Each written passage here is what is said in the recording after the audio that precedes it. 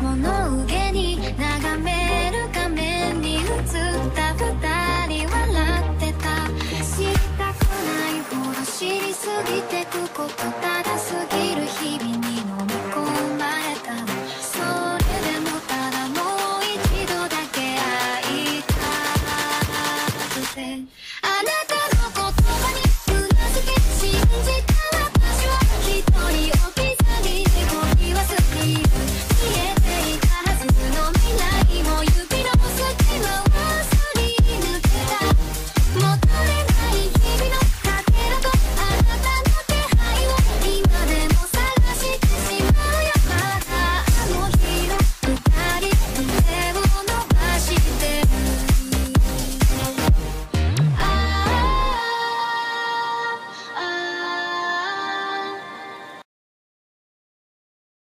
desconocida de YouTube. Ahora que tengo su atención, debo avisarles que la meta de likes para que suba el siguiente video es de 50 likes, se los recordaré regularmente de la misma forma muy seguido. Así que acostúmbrense, así que sin más espera, disfruten el video. Capítulo 13. Ormake 1. Ejecución con pantalones cortos. La vida diaria en la UA, Irmakun. Encontrado por Olmigt y ahora soy un héroe. Olmigt encontró al niño en la playa. Fue allí a limpiarlo, servicio comunitario y todo eso, pero luego vio al niño haciendo el trabajo para él. Era extraño, así que se sentó y simplemente observó al niño durante la próxima semana. El niño trabajó incansablemente durante horas y horas, casi nunca se detenía a descansar o incluso a comer. Ahora que lo pienso, en realidad nunca lo vio comer nada, excepto tal vez los peces callejeros y otras criaturas marinas que vararon en la orilla que cocinó sobre una fogata hecha por él mismo que encendió casi sin esfuerzo. Apenas fue a la escuela, aparentemente más concentrado en hacer esta tarea que en asistir. Era a la vez preocupante e intrigante. Por lo tanto, decidió preguntarle directamente al niño, bueno, como Yaji, no como Olmig, no solo quería asustar al niño. Oye, joven, ¿qué estás? Se acercó de la manera más casual posible, vistiendo su ropa ahora demasiado holgada y con ojos oscuros y hundidos en su rostro. Ah. Zombie basura. El joven de cabello azul retrocedió por instinto. Quédate atrás, tengo un, se detuvo, mirando hacia el objeto al azar que estaba sosteniendo. Un microondas, y no tengo miedo de cocinarte. Guau, guau, ralentiza tu rollo, chico. Trató de calmar al niño. Mi nombre es Yagito Shinori, solo vine a ver el lugar y escuché que se cubrió de basura en los últimos años. Si fuera un zombie, no podría hablar contigo. Oh, supongo que ese es un buen punto, reflexionó el chico en voz alta, antes de inclinar la cabeza profusamente. Lo siento, lo siento, lo siento, lo siento. Te acusé de ser un monstruo carnívoro por lo aterrador que parecías. Ahora, está bien, estarías, sorprendido de la frecuencia con la que obtengo eso. Un poco de sangre salió tosiendo mientras hablaba. Ves que ahí mismo no ayuda en mi caso. Oh, lo siento, señor. He sido tan grosero y ahora está tosiendo sangre. Déjeme ayudarlo. El muchacho tomó su mano y guió la forma debilitada de Olmigt a través de la basura. Es posible que desee vigilar sus pasos, puede ser un poco complicado navegar. No te preocupes, soy más ágil de lo que parezco. Eso es lo que dijo, pero la cantidad de basura sobre la que caminaba decía lo contrario. Volvió a mirar al chico, que parecía bastante versado en atravesar el gran laberinto. Tú también pareces moverte bastante bien. Sí, tuve que aprender los entresijos, tratando de limpiar el lugar, dijo el niño, sonriendo nerviosamente. Alguien pidió ayuda, así que cada vez que tengo tiempo libre trato de trabajar en ello. ¿Estás limpiando la playa, todo por tu cuenta, porque alguien pidió ayuda? Yaji se aseguró de decirlo lentamente, preguntándose si realmente había alguien tan puro de corazón en hacer lo correcto. Sí, básicamente. El niño se frotó la nuca con nerviosismo. Cuando alguien me pide ayuda con algo, realmente nunca puedo decir que no. Yaji miró fijamente al chico, buscando algún tipo de mentira o motivación oculta. Cuando no encontró ninguno, dejó escapar una sonrisa. ¿Cómo te llamas, niño? Oh, soy Irma Suzuki. Se inclinó de nuevo. Joven Suzuki, no podía creer que lo había encontrado. Su verdadero sucesor. Tienes el corazón de un verdadero héroe. Se reinfló a sí mismo, mostrando su forma heroica. El chico estaba temblando de emoción, sin duda asombrado por tal revelación.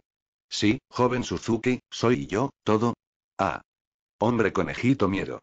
El héroe parpadeó confundido, doblemente cuando el chico le arrojó el microondas a la cabeza. ¿Tú, no has oído hablar de mí? preguntó tentativamente.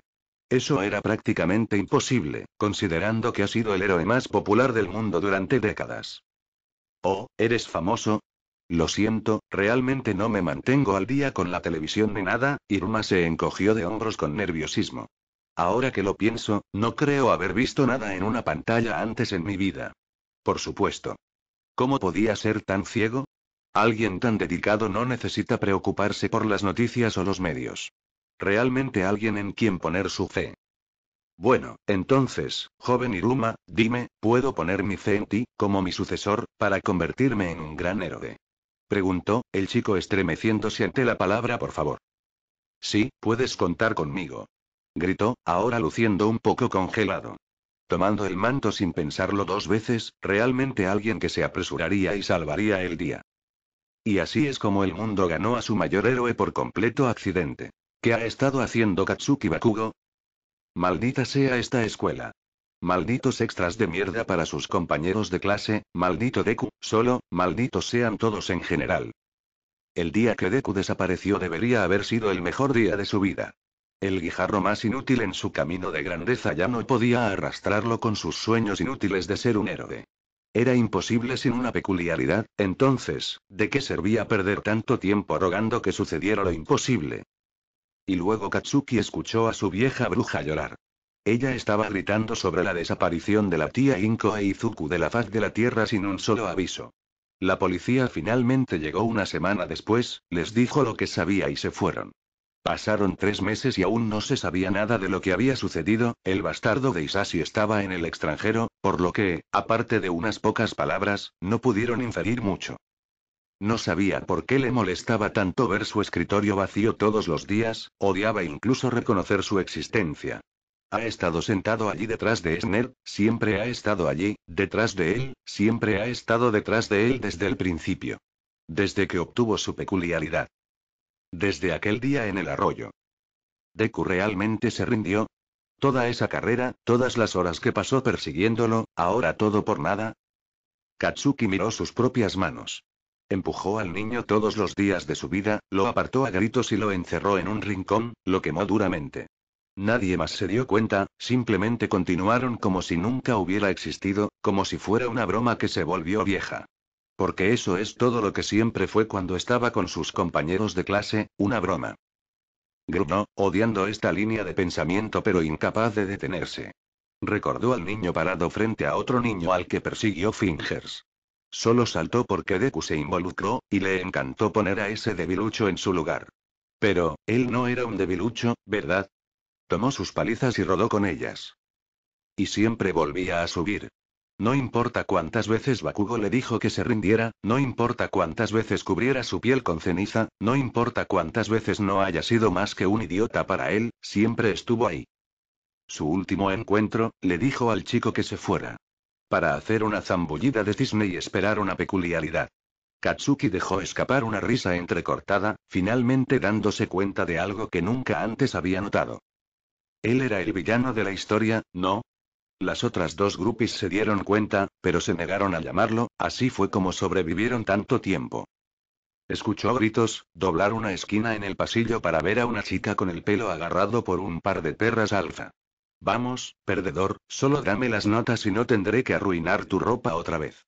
Es una solución simple, pensé que un nerd como tú lo conseguiría en poco tiempo. No necesitaba involucrarse, podía ignorarlos, esa chica que está mirando a esa perra con lágrimas en los ojos y la esperanza desvanecerse. Una mirada suplicante que pedía ayuda, una mirada que vio en muchos extras, en Deku. Esa desesperación que aguantó que alguien viniera. ¿Cuántas veces trató Deku de ser ese alguien, solo para castigar brutalmente al nerd por ello? ¿Cuántas veces Deku gritó pidiendo ayuda, solo para que todos lo ignoraran? Miró a la chica de nuevo, las lágrimas corrían por sus ojos como... Sacudió la cabeza y, antes de darse cuenta, su cuerpo comenzó a moverse por sí solo. Nunca más. No volverá a ser el villano. Oye, engreíste a una perra rica. Cállate. Gritó al grupo. ¿Quién diablos te crees que? Las palabras de la perra se cortaron cuando se giró y se dio cuenta de a quién estaba maldiciendo. Obakugou, ¿cómo estás?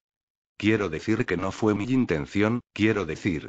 Si me conoces, entonces sabes que odio tartamudear, ¿verdad? Gruñó, levantando la mano mientras el grupo se tensaba. Y en este momento, lo único que odio más que eso son las perras alfa tensas que claramente no saben cuál es su lugar. Lárgate antes de que te convierta en mi nuevo muñeco de práctica. Lo enfermó que una parte de él sintiera placer en sus gritos mientras huían de él. Tenía que trabajar en eso. Gracias, escuchó murmurar a los lentes. No lo menciones. En serio. No se lo menciones a nadie, respondió instintivamente, haciendo una mueca interna. Odiaba cómo este era el tipo de persona que encontraba molesto, aquellos más débiles y merecedores de ser pisoteados, basta. Él necesitaba ser mejor que esto. Solo, si ella regresa, ven a buscarme. Ella asintió rápidamente, alejándose corriendo, pasando a los dos extras que siempre lo rodeaban. Los dos ahora lo miraron como si le hubiera crecido una segunda cabeza. Uh, Bakugo. ¿Qué, qué fue eso exactamente? preguntó el chico del Nero. Sí. Estoy bien. La perra era simplemente molesta. Se encogió de hombros. Esto iba a ser una cosa por un tiempo, ¿no? Salgamos aquí antes de que más extras comiencen a tener una idea equivocada, extras de mierda. Los dos se miraron extrañados y lo siguieron. Está bien, solo me aseguré. Casi pensé que la partida de DQT habría cambiado o algo así, así que es bueno saber que nada, obtuvo una explosión en la cara, al menos lo habría hecho si Bakugo no lo hubiera hecho. No lo enrolle lo suficiente como para no golpearlo. No lo llames Deku. Nunca lo llames de Kutu, se detuvo, su mente se quedó en blanco. Iba a verse como un gran gilipollas, bueno, más grande de lo que ya era. ¿Cuál es tu nombre? ¿Otra vez? Tiempo de vinculación entre humanos y demonios. Aizawa y Kalego. Sensei tiene problemas. Aizawa había visto una buena cantidad de rituales demoníacos. Cuando vas a donde nunca aparecieron los héroes, ves cosas raras. Nunca olvidará al rey rata y su ejército de roedores, Tomó una semana para que los gatos dejaran de atacarlo por el olor persistente. Hace un par de días encontró uno que, sorprendentemente, realmente funcionó. Aparece un hombre lleno de cuernos y comienza a asesinar a todos. Solo pudo cancelar a medias su peculiaridad en eso, considerando que el hombre afirmó que aún no podía volar y estaba perfectamente contento de lanzar bolas de agua como si no fuera asunto de nadie. Después del incidente, pensó para sí mismo en hablar con Odeye, el hombre que probablemente se conectó con el ocultismo y sabía lo que era real y lo que no, y probablemente tenía uno bajo su control, y se dio cuenta de que Netsu probablemente era la opción más lógica dada. El arsenal de conocimientos del hombre. Un ritual de unión más tarde y formó un contrato con un hombre llamado Kalego. La base fue la siguiente, puede ser convocado en cualquier momento además de los días laborales predeterminados. Solo atacarían a sus compañeros demonios, mientras que Aizawa atacaría a sus compañeros humanos. También intercambiaron consejos de trabajo, artimañas lógicas frente a situaciones que amenazan la vida. A. Las formas de torturar las molestias en sus vidas. Aizawa comenzó a sacar uno de los círculos de invocación mientras hablaba la antigua lengua demoníaca desconocida para la mayoría de la humanidad y apenas aprendida por Netsu, un triunfo que mantendría sobre la rata para siempre hasta la muerte. Apareció humo negro, y no pasó mucho tiempo antes de que el demonio barra maestro sombrío apareciera ante él, aunque parecía particularmente estresado. Oh, eres tú. ¿Fue esa vez otra vez? Sí, traje las cosas buenas mientras estoy en eso. Extendió algo que ningún demonio podría resistir. Una caja de jugo de manzana. Aunque de baja calidad, los de su especie no tenían fruta humana creciendo en su mundo, por lo que cualquier cosa que uno consideraría promedio es bastante exótico para ellos. Genial, respondió Calego, tomando la bolsa sin dudarlo y bebiendo un gran trago. Oh, sí, necesitaba esto. Estoy teniendo el mayor dolor de cabeza en este momento, y esta será probablemente la única vez que tendré que olvidarme de él, gruñó el demonio. Bueno, vamos a estar aquí por un tiempo, ¿quieres desahogarte? ¿Puedo quejarme de mis bastardos a cambio? le ofreció Aizawa al hombre. Oh, no tienes idea con lo que estoy lidiando en este momento. Primero, el idiota que dirige la escuela me quita el pago solo porque me deshice de algunas cámaras, y luego trae a su molesto nieto a la escuela que podría decirse que es peor. Up, nepotismo. He lidiado con eso antes. No era raro que la familia de un héroe intentara emularlos, creyendo que sería fácil solo porque estaban relacionados. Y no puedes simplemente expulsarlo, ¿verdad? Ya lo intenté, desafortunadamente logró ir más allá como lo hacen ustedes, los héroes. El chico invocó a un maldito demonio de todas las cosas. Y el mayor ataque al corazón de mi vida.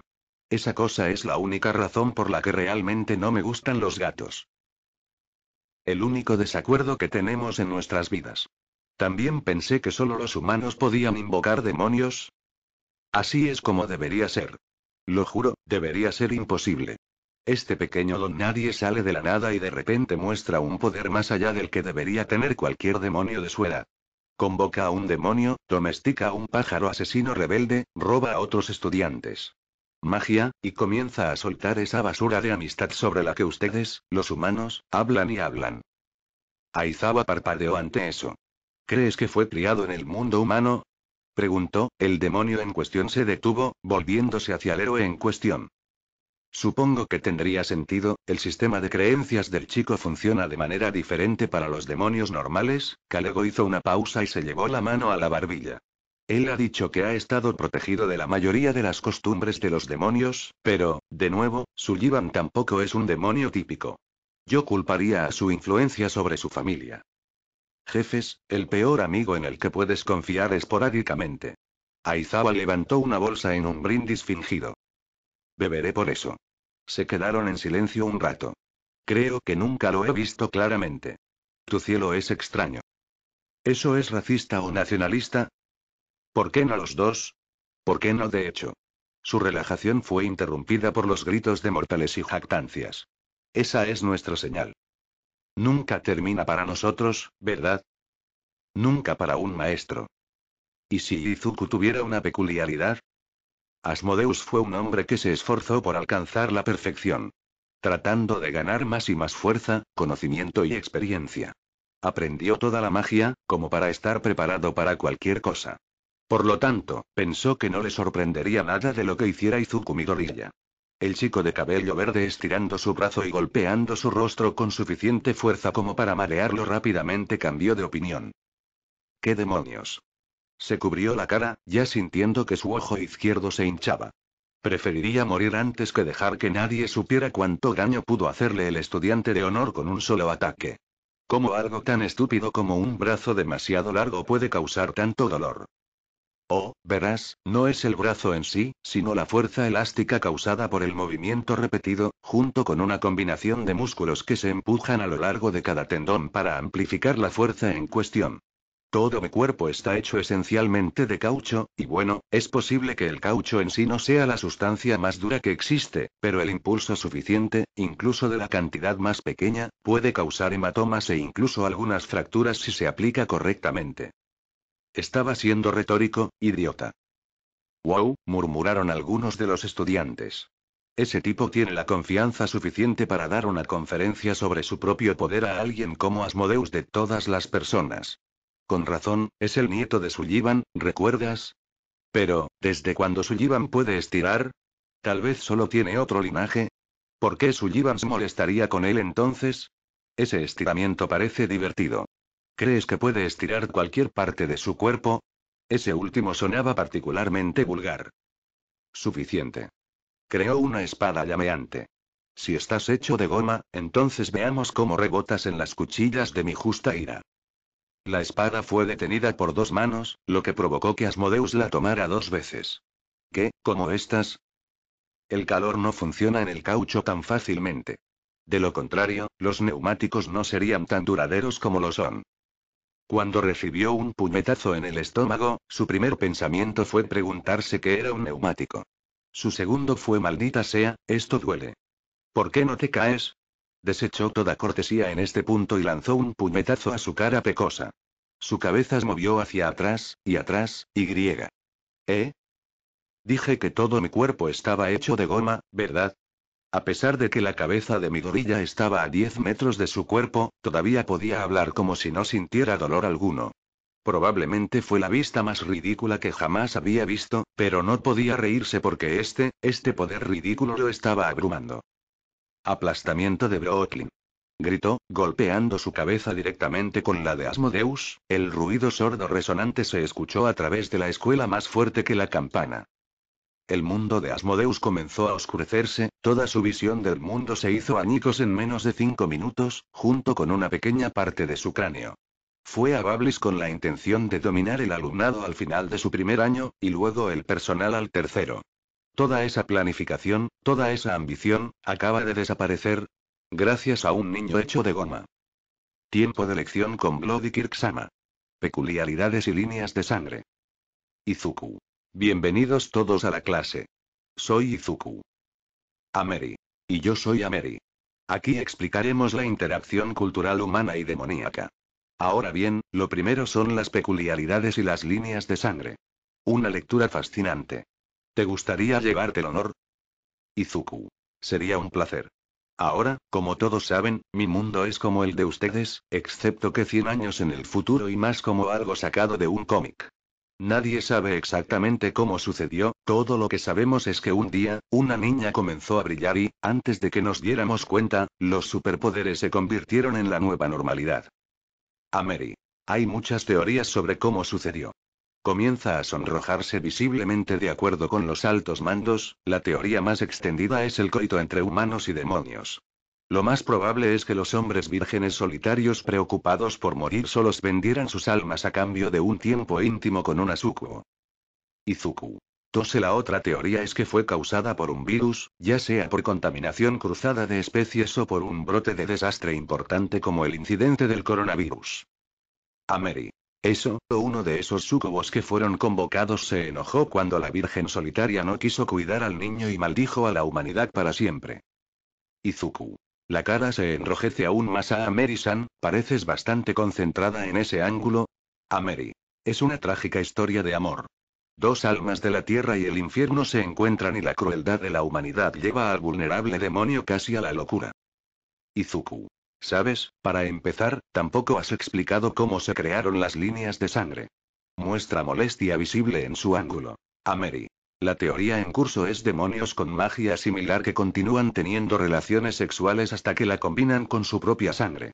Habríamos mostrado imágenes, pero tienden a volverse un poco gráficas, y se supone que es un fic para el público en general. Izuku. Casi se cae al suelo, no sabía que íbamos a hablar tanto de sexo hoy, Ameri-san. Ameri. ¿Es genética Izuku, ¿qué creías que íbamos a discutir? ¿Cómo interactuarían entre sí de una manera violenta donde la sangre peculiar actúa como una sustancia venenosa para cualquier linaje? Izuku. Sí. Sí. Me gustaría entrar en ese tema. Cualquier cosa que no sea sexo trastornado y pervertido. Ameri. Farfulla, pero es de conocimiento general, ¿cómo fue algo desquiciado o pervertido? Izuku. Todo fue loco y rizado. Cuando combinas sexos y maldiciones juntas, es inmediatamente etiquetado rizado y loco. Ameri. O tal vez los humanos son demasiado blandos para el conocimiento general de los demonios. Izuku. Suspira de todos modos, si los genes peculiares son venenosos para las líneas de sangre, eso significa que los humanos desarrollaron esta genética para contrarrestar la alimentación de los demonios. Ameri. Por favor, eso implicaría que mi papá es incapaz de mantener la frontera en paz. Izuku. ¿No me vendieron hace solo tres meses? Ameri. Eso se debe a que Sullivan tiene suficiente poder para eludir la mayor parte de la seguridad, y tu padre creó un camino legal para que él lo siguiera.